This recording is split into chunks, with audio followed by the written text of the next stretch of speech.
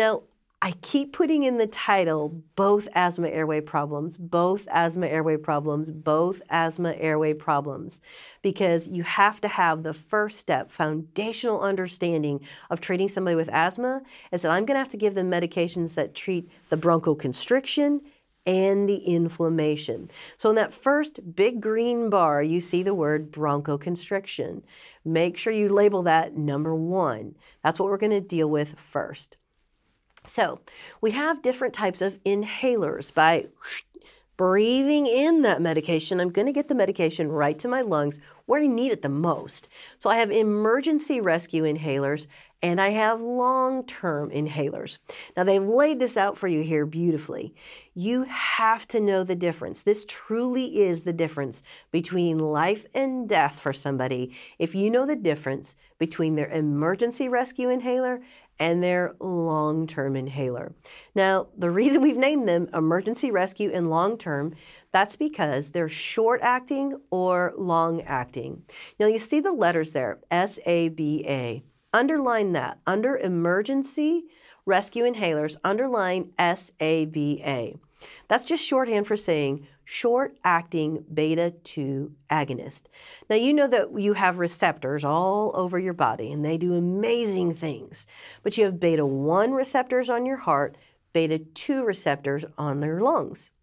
Now, when an agonist connects to a receptor, then it does what that receptor is intended to do.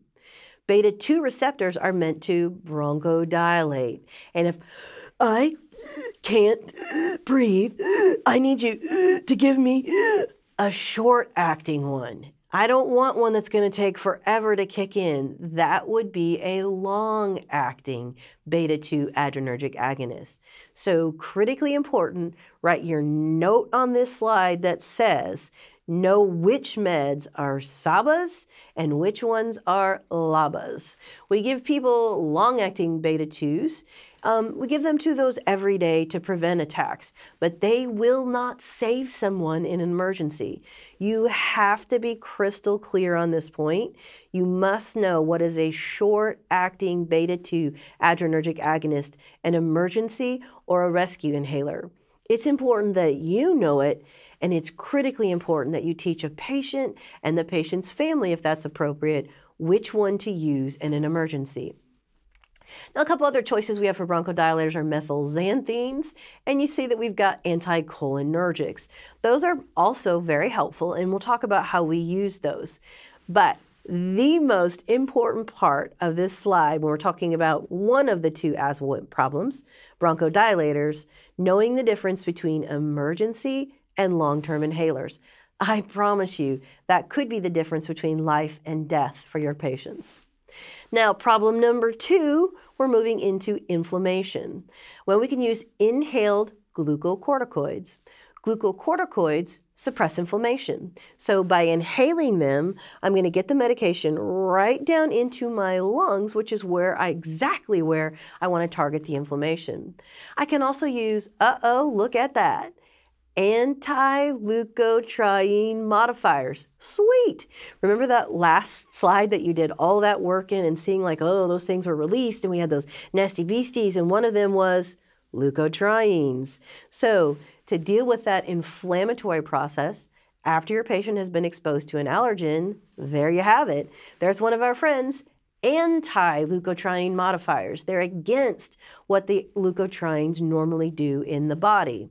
With blocking the anti by blocking leukotrienes, I'm going to have less of that inflammation and nasty respiratory response. Mast cell stabilizers.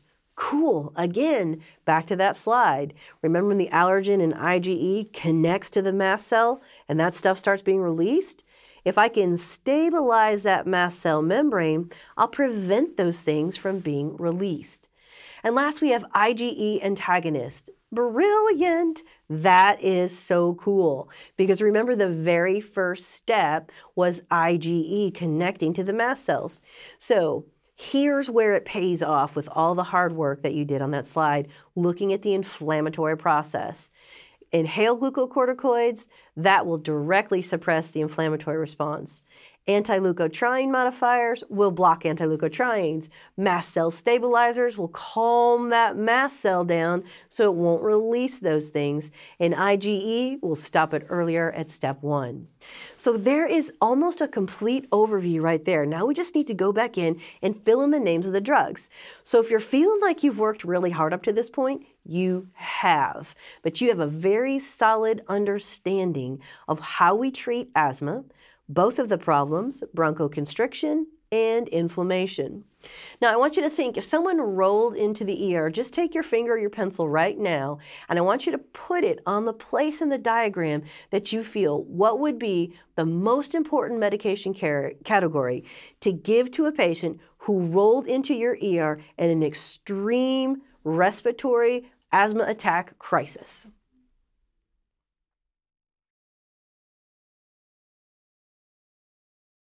Great.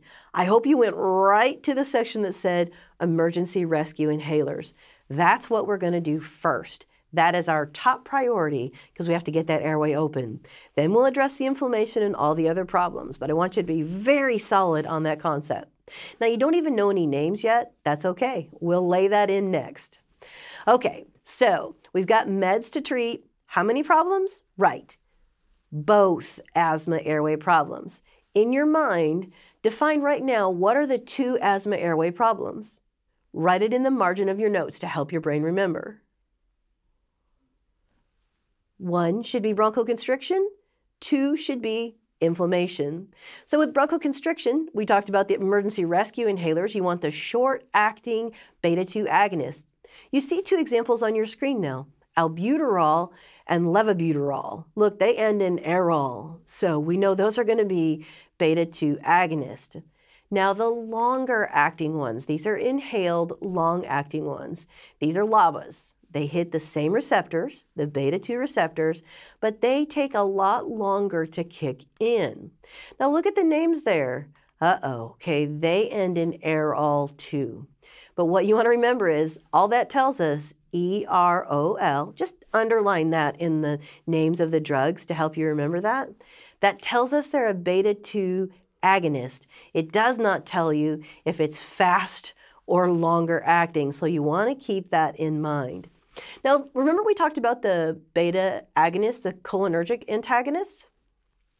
This is a combination of a beta-2 agonist, a short-acting one, albuterol, and then a cholinergic antagonist. Now I want you to look back at that other slide. Remember we had the combination of the big green box of bronchoconstriction and inflammation?